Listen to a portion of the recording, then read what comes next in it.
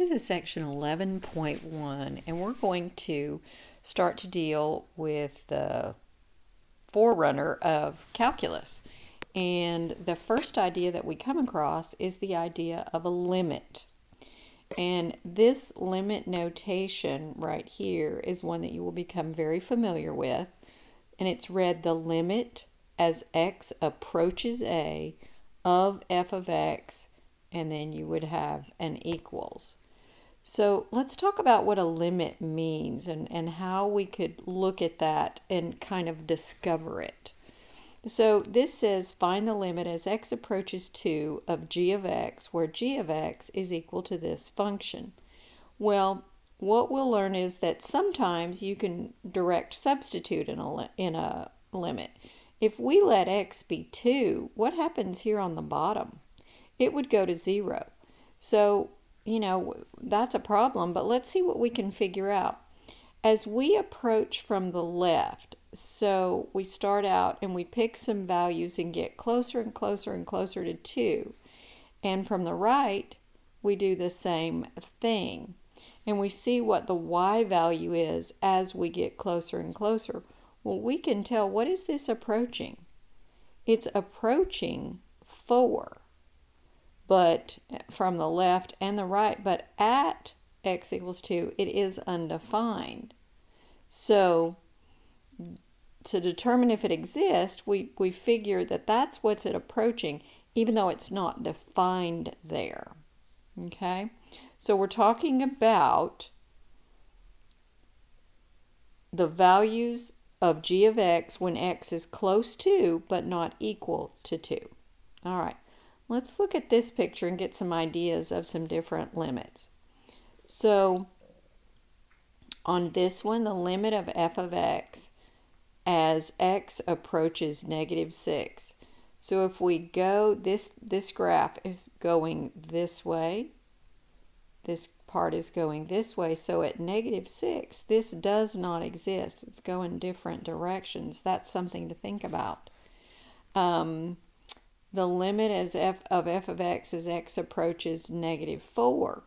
Well, coming in from the left, we hit here. From the right, we hit here. It says that does not exist. The limit of f of x as x approaches 0. So from the left, you end up here. From the right, you end up here equals 3.4. Even though f of 0 f of 0 is defined here. So a couple of things that we've learned already. If the limit from the right and the limit from the left are not the same, it would appear that the limit does not exist. That's what's happening here. Has to be the same on either side. Now here, coming from left and right, it was the same and it ended right here and that y value was 3.4. Um, now we also saw that f of 0, right here, you can see this is defined here. It's an open circle here. The limit can exist even if the function is not defined there. Okay, that's important. Now, on this one, the limit of f of x as x approaches 3. Well, from the left, we're going all the way down. From the right, we're going all the way down. So it's negative infinity and says so the limit does not exist. But typically we go ahead and write the limit is negative infinity. Here, the limit of f of x as x approaches 4. Well, we're coming into 4. We hit here. We hit here. The y value is 1. It's not defined there, but that can be the limit.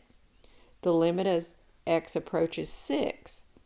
Okay, from the left or the right, we end up at a y value of 2. Your, your limit will be either a y value or positive infinity, negative infinity, or does not exist. And then if we're approaching infinity, um, the lim there's two rules, and it's for negative and positive infinity. The limit as x approaches infinity of 1 over x to any power is equal to 0. So we use that rule to figure out things like this. The limit as x approaches infinity of 8x plus 6 over 3x minus 1. The technique is to divide each term by the largest power of x in the denominator. Well, that is just x. We don't have an x squared or x cubed.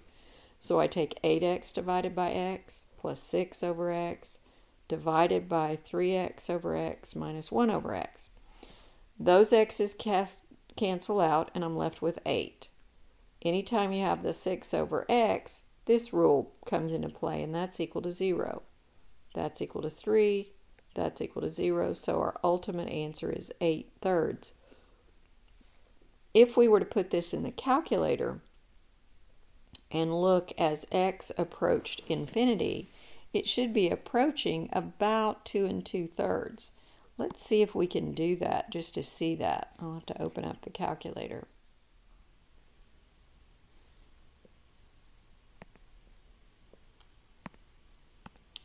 So we're going to go here to y equals, and we're going to put 8x, whoops, plus 6 divided by 3x minus 1.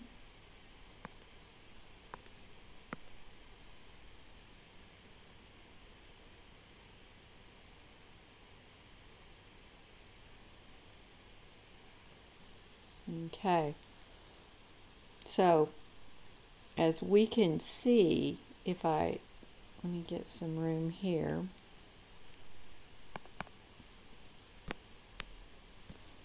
There we go. Um,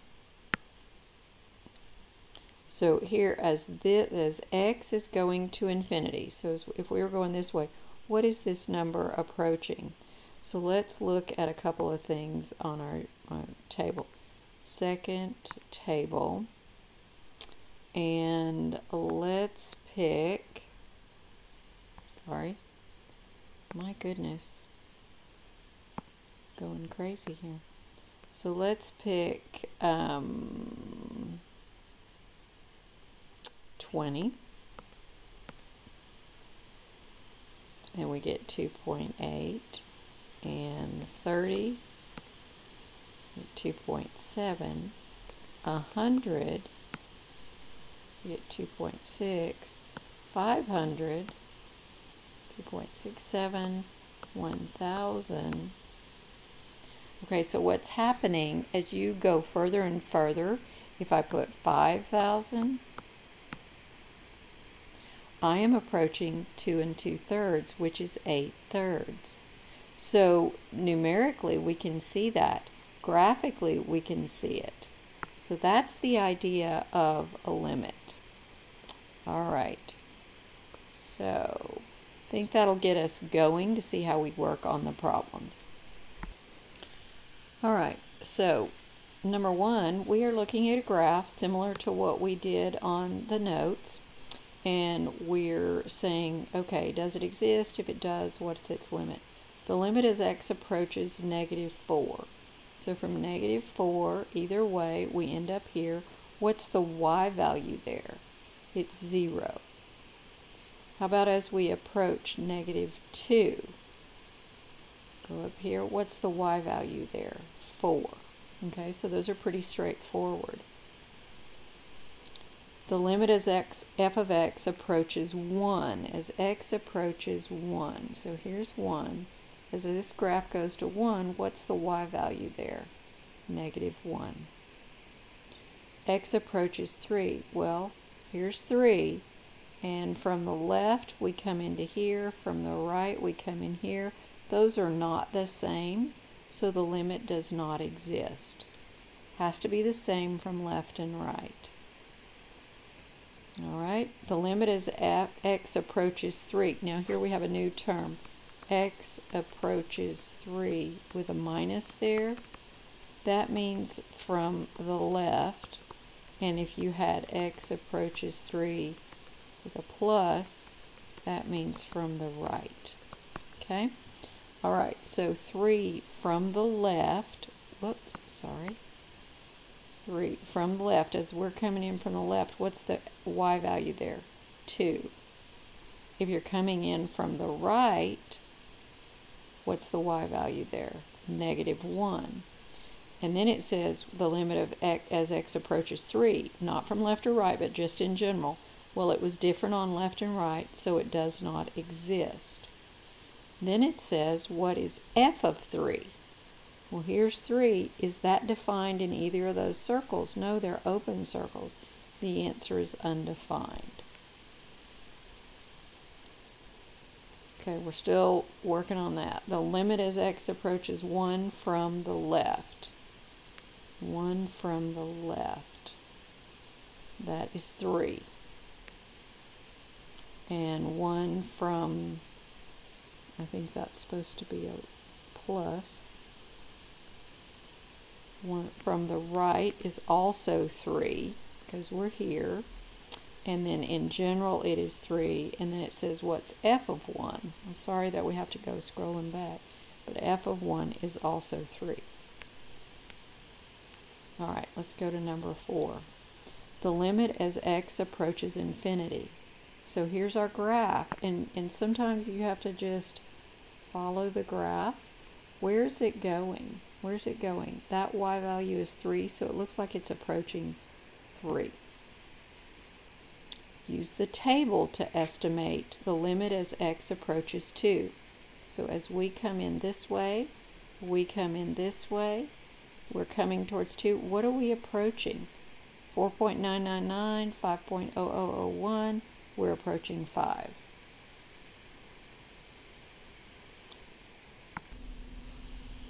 All right. Um,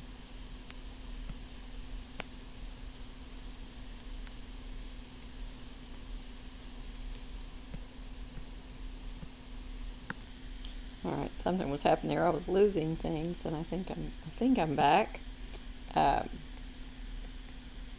all right, so we've got this one. It says construct a table and find the indicated limit. If we plugged in negative 6, we get 0 here. So we probably need to use the calculator to do this. So I put that in Y1, and I went to my table, and I'm going to approach negative 6 from the left and the right. So I did negative 5.9, negative 5.99, etc., and then 6.01, 6.001. And what am what does it look like I'm getting to? I'm approaching 108. So that would be my answer. So put it in the calculator, come at it from the left and from the right, and see what y value you seem to be approaching. Number seven, the limit of x, f of x equals, uh, as x approaches 7, is 19 and as it approaches 7, g of x, it's 6. Use the limit rules to find the following limit. So we can subtract the limit as x approaches 7 of f of x minus g of x is simply 19 minus 6. That is a rule. We can just subtract and get the 13. This gives us f of x and g of x. So we have that limit is 3, this limit is 7. If we add them on top, and then on the bottom we do 2 of g of x, we get uh, 2 times 7. So we have 10 over 14, which is 5 over 7. All right, on this one, we can't plug in 4, but what you always want to wonder about, and if you see something that looks like it would factor, try to factor it. And we did that, and those two mark out. Then we're taking the limit as x approaches 4 of only x plus 2, and we get 6. Okay. Number 10, remember this is approaching infinity. So here's our rule. Divide every term by the highest power of the denominator. And so we have 8x over x, 2x over x, minus 8 over x. Those canceled out. We're left with 8. Those cancel out. We're left with 2 minus 0 on, over here. So 8 over 2 is 4. Okay. Same thing here the highest power on the bottom is x squared. So we divided every term by x squared. we get those canceling out, those canceling out. Um, those don't cancel out, sorry. But we can divide that one into that one and we have 2 over x. Okay. Um, down here, those are gone. Same thing here. We do that and that. And we are left with 2 over x. And we have 1 over x squared. So that becomes 2 minus 0 over 5 minus 0 plus 0. So in other words, we're left with 2 fifths. Number 12, same kind of problem. We are dividing by x to the fourth. On each of those, we're left with 6 over x plus 7 over x cubed minus 4 over x to the fourth. Every one of those goes to 0. On the bottom, those totally cancel. We're left with 5. And then we have 8 over x and 7 over x to the fourth. Those go to 0. We have 0 over 5, which is 0. Number 13. This is a graph of uh, e to the x. The limit as x approaches negative infinity. So we're going along here. What does it appear that we are approaching? A y value of 0. Where does the function have a horizontal asymptote? Well, if that's a boundary that it's approaching but never reaching, that's going to be the horizontal asymptote. So that would be 0. This is ln of x. As x approaches 0 from the right, where is the function going? Negative infinity. Negative infinity. Where does it have a vertical asymptote? That is the boundary. It's going this way. Vertical boundary is x equals 0. I think that is the last problem on there. So that should get you going on 11.1.